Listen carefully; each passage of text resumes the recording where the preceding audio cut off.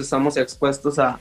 a esto, entonces yo creo que, que, pues claro, son importantes los tres jugadores que, que se quedan, pero también hay compañeros que, que, están atrás esperando una oportunidad para, para hacer bien las cosas, yo creo que estamos tomando muy buen, muy buen camino y no vamos a bajar los brazos y vamos a ir a, a Juárez a sacar los tres puntos.